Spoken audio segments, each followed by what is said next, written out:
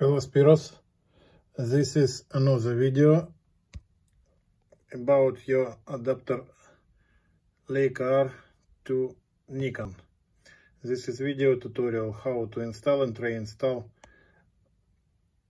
lens with this mount with chip on camera and into camera. Look, the first combine the middle contact of the chip and this little red dot on the adapter with white dot on the camera. Little push counterclockwise, click. Look, focal length is 90 millimeter, aperture range from 2 to 16 and very carefully reinstall. Push this button clockwise. Reinstall.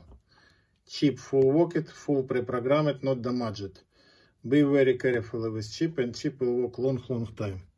Now I packaging your adapter and sending to you tomorrow morning from Slovakia.